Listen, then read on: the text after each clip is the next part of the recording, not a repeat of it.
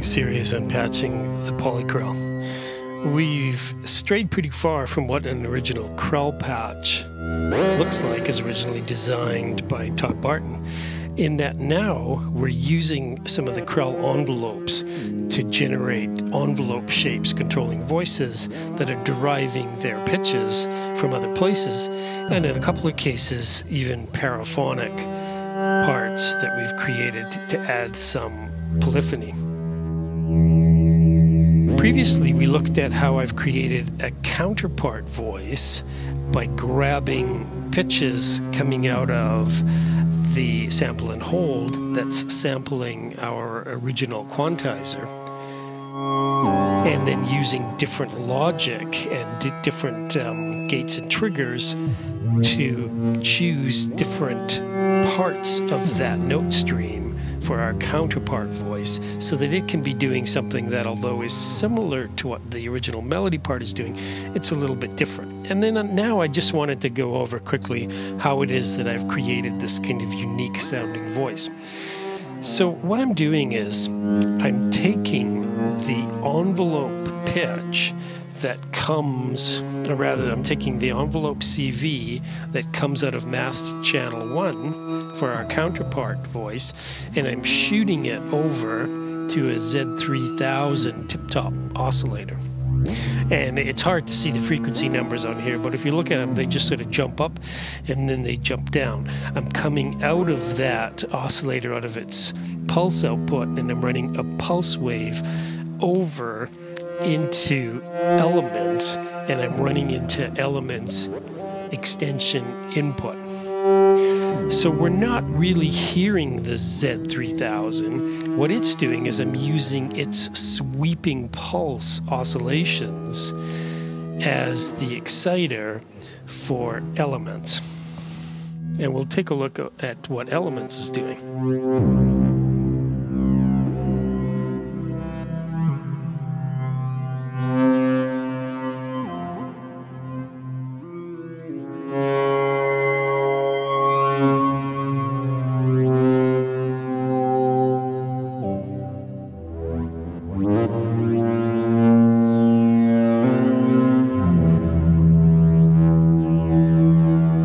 So here's Elements, which I've set up to be the sound producer for our counterpart voice.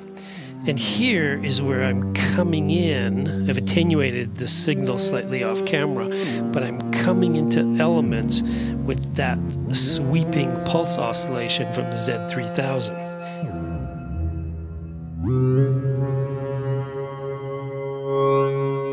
And then by keeping the damping control fairly high, elements will resonate at the frequency set by its own oscillation, but excited by what's coming from the Z3000. And if I turn our damping off completely,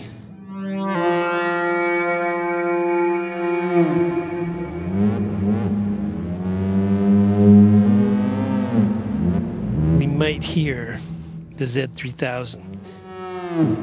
The Z3000 tracks the pitches that I'm also sending to elements, which is the pitches we're hearing in our counterpart oscillator, but it sweeps up above those pitches, and it does so to give us harmonics. It sweeps through a whole harmonic series. And then again, I've got some CV coming in on the bottom of elements, so I'm controlling the damping, the position, and the brightness with the CV. So here I'm using CV to sweep the position. And here I'm using CV to open up our brightness.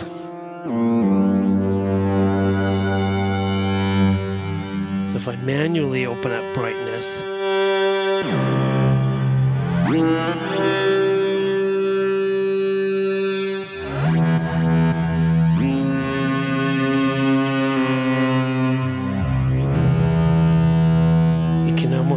that Z3000 in the background.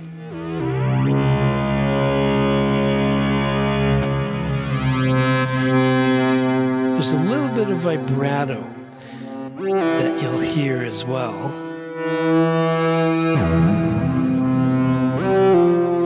and that is coming into our FM input, and that's exactly the same vibrato that I originally created for the melody voice. And it is coming from one of the envelopes from the double Andore and that LFO from the Hertz donut is the, is the same sine wave that I'm using to create vibrato for the melody part. Now, if you remember back to our earliest videos in this series, I'm using an inverted envelope, the Krell envelope from the melody voice, to back off on the vibrato whenever that melody Krell envelope goes high. And I'm using that ex- exact same output so that I'm modulating the amount of vibrato coming into the counterpart voice. The difference is that the Krell envelope for the counterpart voice is its own completely different envelope. So a lot of the time, the counterpart voice envelope is open when the envelope for the melody is closing. So then we hear the vibrato coming in to the counterpart voice almost at different times. But every once in a while they'll line up. We'll hear the melody and the counterpart voice, and those two vibrato parts will line up. And I'll flick on the melody, maybe we can hear it.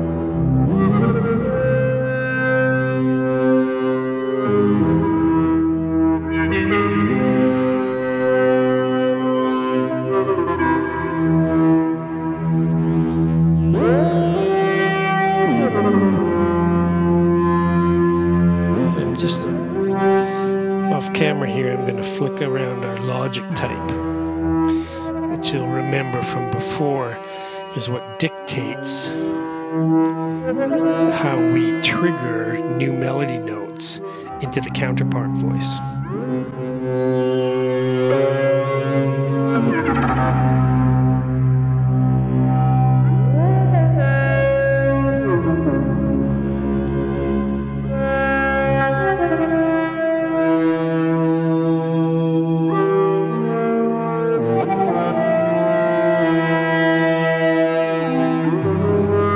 So by now, I hope you're getting a sense of how, when I originally started building this patch, I left little spots open that I could pull voltages out of, like my buffered mults and my quantizers and my sample and holds, so that I could bust them around the system and use them in other places. And I did this from the earliest beginnings of the patch. And typically, whenever I'm creating a patch like this, when I first start, I'm really aware of where I'm headed in the future. I've got a pretty good outline in terms of where I might want voltages. So as I patch my way through the system, I'm careful to leave little places where I can pull voltages out. And I tend to have a lot of mults all over my system specifically for that purpose.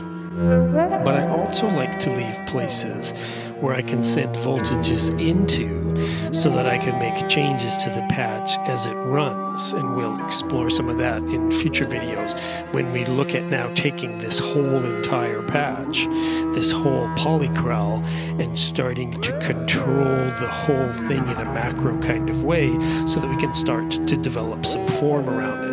And I really believe that this is the strength of this kind of patching, is this is how we go from something that is going to really sound samey over, say, five minutes to something that can be really interesting and can be extruded and be changing over time so that we're making these transformations to create a kind of a structure or a form out of the piece. And there are places in this particular patch where I've left some of those openings.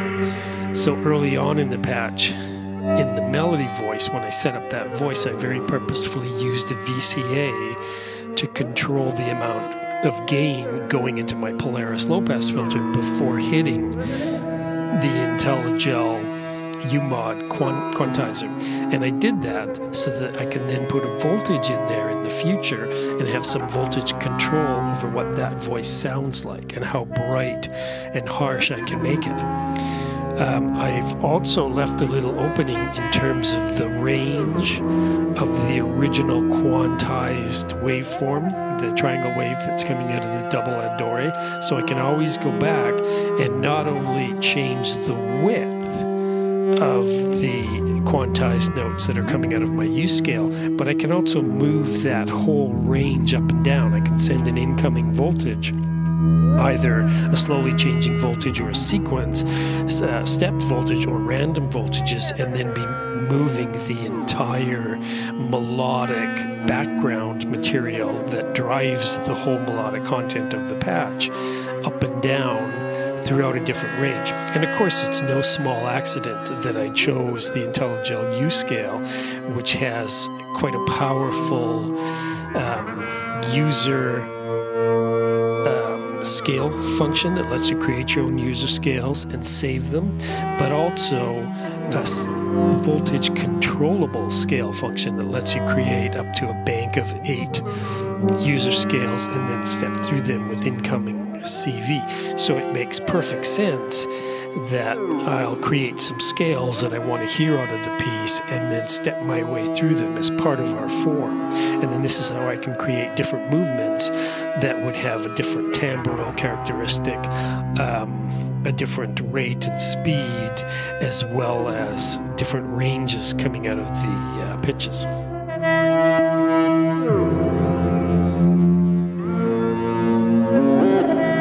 Well, I hope you've enjoyed our look at the Polykrell so far.